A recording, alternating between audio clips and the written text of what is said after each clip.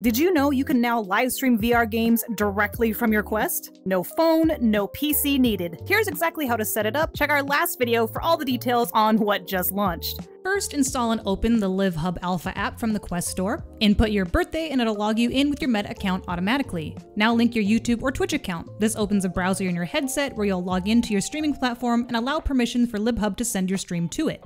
There's also a manual RTMP option. This is for platforms that give you a custom stream URL.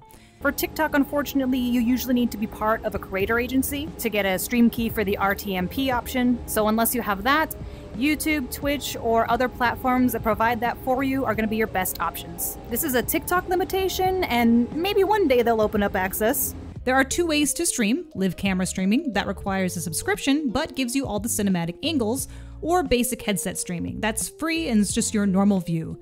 First up, LIV Camera streaming, where you get all those custom angles. Ooh. LIV Camera streaming does require a subscription. You get a 7-day free trial, then it's 99 cents a month for your first 3 months. That's a limited time offer that ends December 31st, so grab it while you can. Open the LIV Camera in a supported game like Gorilla Tag. At the top of the tablet, switch to the Streaming tab.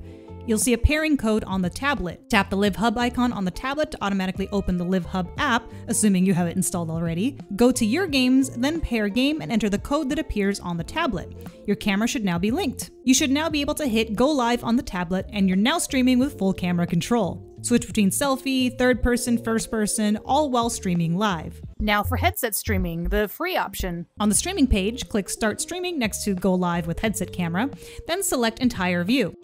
Just note that by sharing your entire headset view, your stream sees everything. Be careful about navigating to pages with passwords, messages, or anything that you don't want public.